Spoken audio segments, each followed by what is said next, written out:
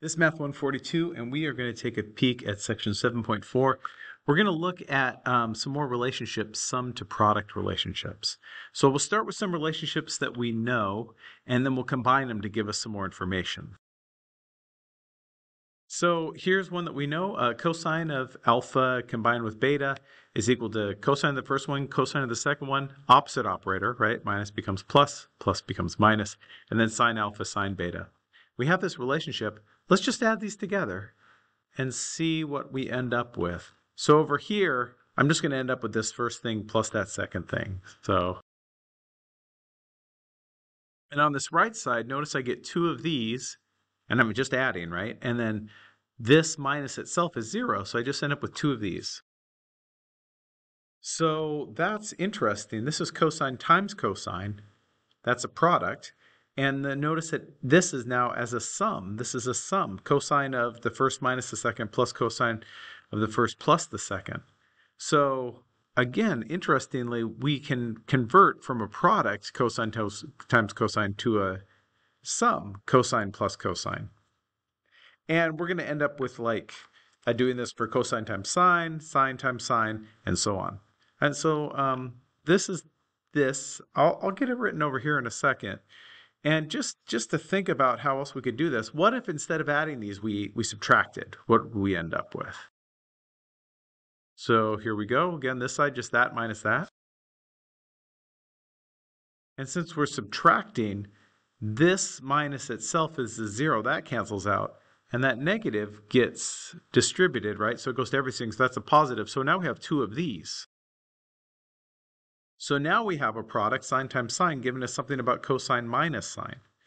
And there's one extra step I didn't do on the last one, and it'll show up in these formulas is you could divide both sides by 2. And notice if I do that, um, on this side, if I divide this by 2, it just goes. But on this side, if I divide this by 2, it becomes half of that whole thing. So here are a couple of uh, relationships, cos, um, product to sum relationships. And what I want you to notice, if I did the same thing with the sine of uh, alpha minus beta and the sine of alpha plus beta combined in the same way, I get some other ones as well. So we've got these sum product relationships, and there are uh, four of them right here that we're just going to use product to sum. So cosine uh, times cosine, we can simplify to one half of this, right? Sine times sine, one half of that. So how do we actually go about using so let's practice using these to, to rewrite some stuff. So here we have a product, sine of something of 5 theta times cosine of 2 theta. So sine times cosine. So I'm just going to look over here. Sine times cosine. I notice that that's equal to 1 half of sine of them added together plus sine of them subtracted from each other. So if I go to rewrite this, I would say this is 1 half times sine of their sum. So add them together. Again, I'm just looking back to here, sine times cosine plus sine of them subtracted. 5 theta minus 2 theta is 3 theta. And there it is rewritten as a sum. This product has now been written as a sum. All right, let's go ahead and do this one. So it's cosine times cosine. That's my product, and I want to rewrite it as a sum. So I'm going to look over here. Cosine times cosine. Well, it's 1 half cosine the first one minus the second one plus cosine the first one plus the second one. Okay. First one minus the second one. So 2x minus 7x. So notice this is going to be a negative 5x plus them added together. And there's one more thing we can do. Think about those even odds. Remember cosine of a negative, that's like, there's the negative angle there's the positive angle. It's the same as just cosine of the positive angle. They both have the same, same width. So I can rewrite this as just positive 5x. And there that one is, uh, written as a sum. So really for these, we're practicing, if it's given to me in this form, recognizing the form and rewriting it in that form using these relationships, using these formulas. And remember, these formulas came out of those sum difference formulas that we already that we already know. Now, how about going the opposite direction? Or how do we write it as a product? So I should be given some sort of sum or maybe a difference. Now, I'm going to think about this, um, how I could kind of piece it together and rationalize it.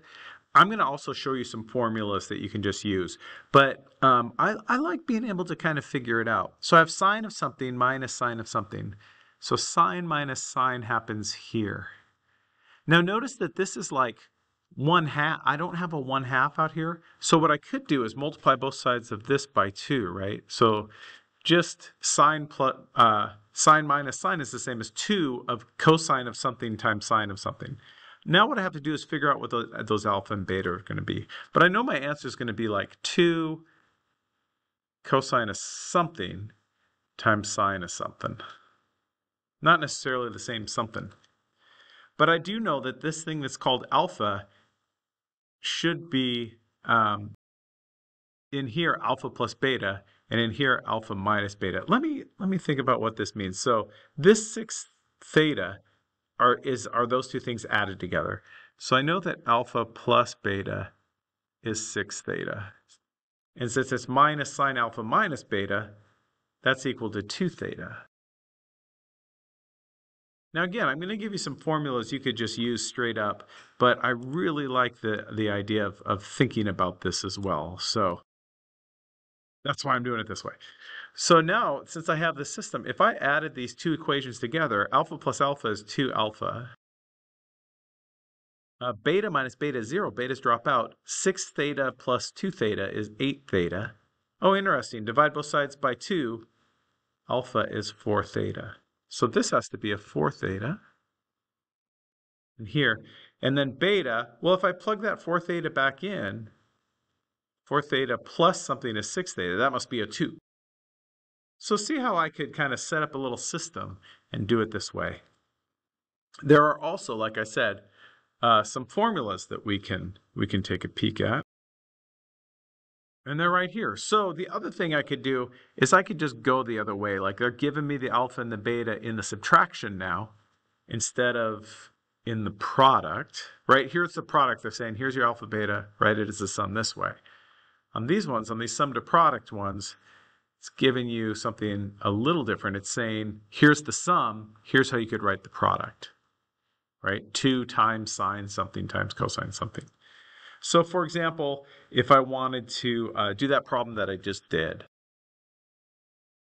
I've got sine minus sine. So here it is right here, sine minus sine. So it's going to be 2 times sine of something. And that something is them subtracted divided by 2. Multiplied by cosine of them added together divided by 2. Sine that's a 4. 4 divided by 2 is 2. That's 8 of them. 8 of them divided by 4. Uh, 2 is 4. I notice it's the same answer uh, that we had. It's written in a little bit different order, right? Cosine's first here and sine second, but it's multiplied together. It doesn't matter what order you do it in. Same answer. So you can just, uh, you can use these formulas if you weren't uh, too into figuring it out one piece at a time. Now, sometimes you can use this information to get the exact value of, uh, of something. Now we're using some difference formulas for things like what's the cosine of 15 degrees exactly, or what's the cosine of 75 degrees exactly. So you could break these both up using some difference formulas and then subtract the answers. But what's nice about this is notice I have cosine minus cosine. Cosine minus cosine, that's this. So I'm going to use this substitute this formula right here to do some substitution. So this would be the same as negative 2 times sine of them added together divided by 2 multiplied by sine of them subtracted divided by 2. And so let's think about this. Negative 2 sine.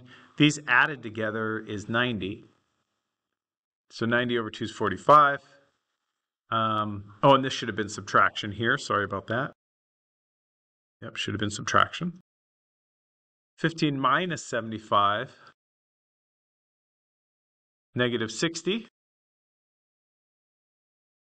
And so now what I can do is I can just look this up. Uh, either I know these values, because I've dealt with them a bunch, or I could look them up on my on my unit circle. So we are talking about uh, sine of 45. Well, that's root 2 over 2. So this is root 2 over 2. Sine of negative 30, you might know it, or maybe you don't. Uh, negative 30 is here, which is, um, what are we doing? Sine. Negative 1 half. And notice I'm multiplying all these together. Uh, negative times a negative is positive. 2 divided by 2 is 1. So I get uh, root 2 over 2. And I'm there. So this idea of peeking at the unit circle, it's a good idea um, to pull it up. And it's actually a good time for me to point out to you that I have a sheet that you can, um, you'll be able to use on the exam and refer back to. So let me pull that up. So it's going to be here in resources. And it'll show up here. It's called the scoundrels page. And you can use this on exam two and on the final. And if you look, here's all of these uh, bunch of these relationships that we were just talking about. We've talked about half angle, we've talked about double angle, sum and difference formulas, Pythagorean identities, and a unit circle. So all sorts of good references for you to use. I would suggest you print this out and have it next to you while you're uh, while you're doing doing the work. All right. Hey, give these problems in the set a try. Message me with questions or post questions in the forum.